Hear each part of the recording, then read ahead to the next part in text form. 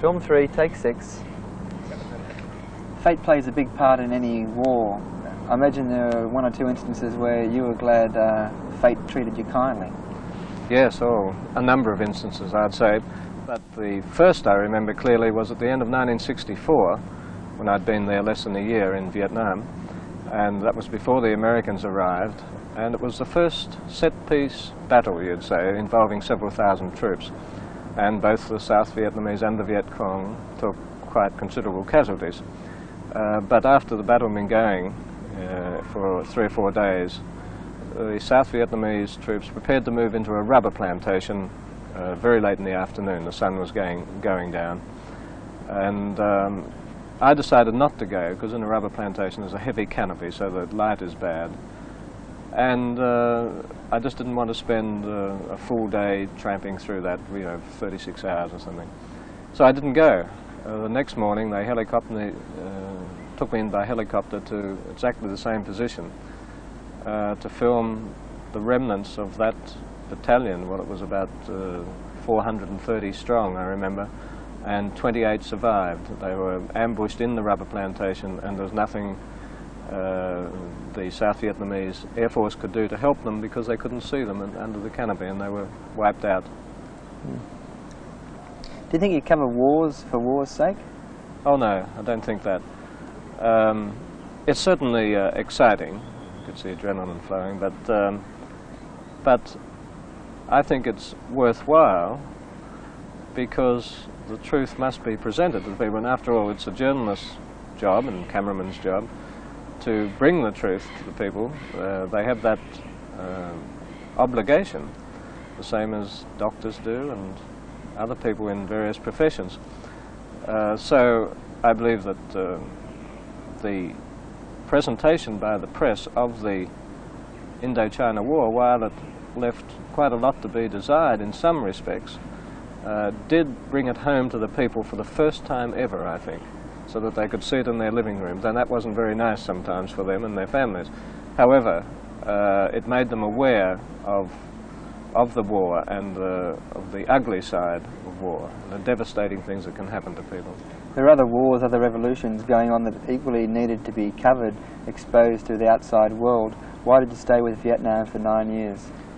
Well, I stayed with it for more than nine years, stayed with it for 11 years. But uh, that was because I think it was the most significant war of the period, probably the most significant war since World War II, because it was a, a clash of, it was an ideological clash on the mainland of Asia, uh, of course, the other reason was that I built up many friendships with the Vietnamese and Cambodian people uh, and Laotian people. You say that uh, it was an ideological clash. Do you think uh, there are elements of racism in the war? Yes, at times they were. Uh, the American soldiers, and there were over half a million American soldiers there for some years, uh, didn't really understand the Vietnamese, and that wasn't their fault. It's that they hadn't been indoctrinated enough, or, nor did they come in close contact with the sort of Vietnamese that I did.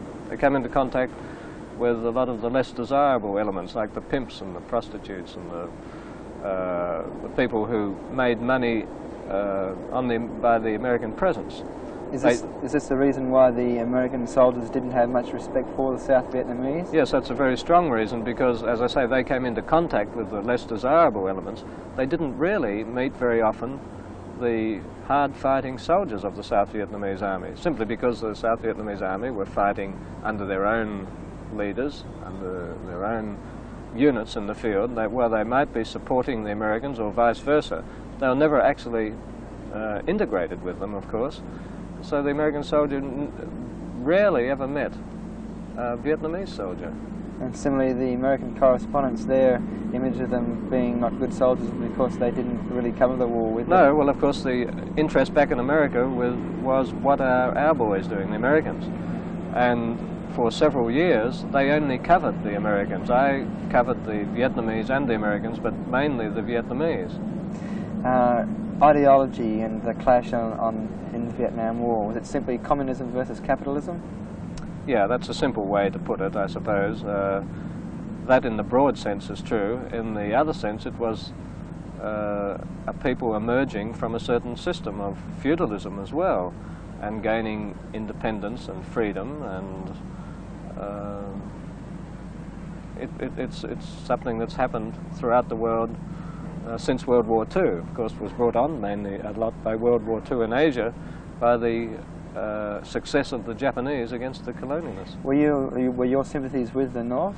And, uh, No, I had no, because uh, for a start, professionally, I was tried to remain completely neutral, and there were my sympathies were with the Vietnamese people, and that's that whether they were Northerners, Southerners, communist or non-communist, uh, they all faced similar hardships. Back in the bars with other journalists, you didn't take any particular side. No, that there might be discussions and arguments about certain facets, and sometimes I'd find myself arguing for the South Vietnamese side, the anti-communist side. Other times I might uh, find that the argument was just as strong for the other side, depending on the situation. Nothing is black and white. Was there any way that America could have won that war? Uh, no way that America could win the war because it wasn't their war to win. The, it may have had a different result. Uh, I'm sure it would have if the Americans hadn't involved themselves in, the, in a ground war because they didn't know how to fight it and they only made certain by their presence that the communists won. Did the B-52 bombings of the North, did that bring the North Vietnamese to the conference table Yes, in it- Paris? Yes, it brought them to the conference table in early 1973. Uh, it didn't make any difference to the outcome of the war, really. Uh, but by that time, the Americans had employed their sophisticated bombing, that is, laser-guided uh, bombs and camera-guided bombs, which really, after four or five days, uh, wiped out all resistance in North Vietnam. That is, wiped out the uh, surface-to-air missile sites, wiped out the strategic bridges, and uh, the North Vietnam had little alternative but to negotiate at that stage.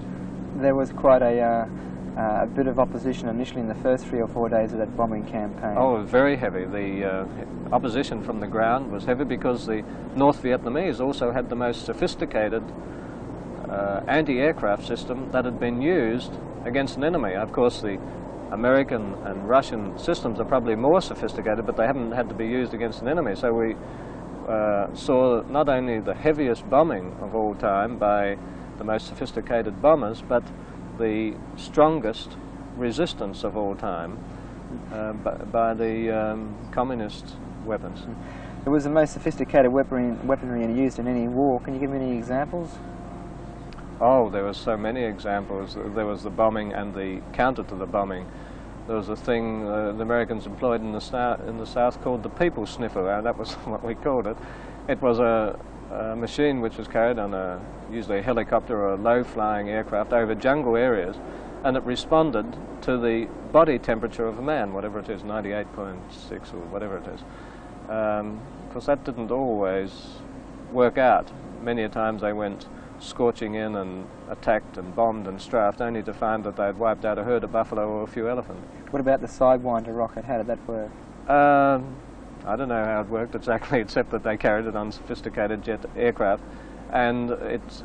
Was it it's an infrared seeker or not? Um, I'm not sure how it worked. Of course, it, it was air to air, meaning that it, that it was uh, uh, propelled and uh, What about the- rocketed from the one aircraft. and What about wipe out the, other. what about the uh, air-to-surface missiles? Was there? Was Well, there, there was the surface to air, the SAM missiles in North Vietnam, and they, uh, of course, were heat-seeking. They tracked uh, heat-seeking and was also radar-guided, and uh, they tracked the American jet aircraft at vastly superior speeds to the to the speed the jets could fly. was there any escape? Uh, there was there was only one way of escaping it.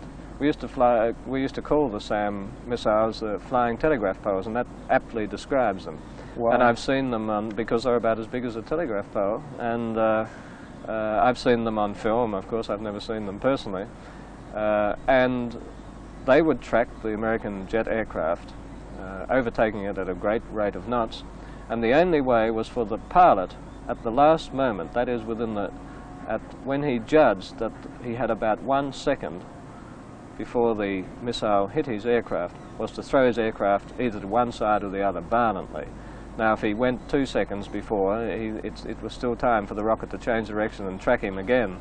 Uh, and of course, one second was not much time to, to respond. What about the helicopters? They would have been quite vulnerable to uh, rockets. Yes, of course, they flew only over the south, generally speaking. Uh, rescue helicopters went over the north, but uh, thousands and thousands of American helicopters flew in the south. And they became vulnerable in 1972, during the spring offensive of 1972, to a